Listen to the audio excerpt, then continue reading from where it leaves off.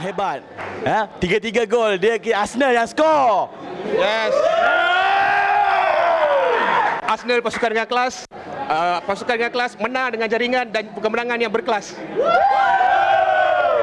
Ambil unggul Liverpool.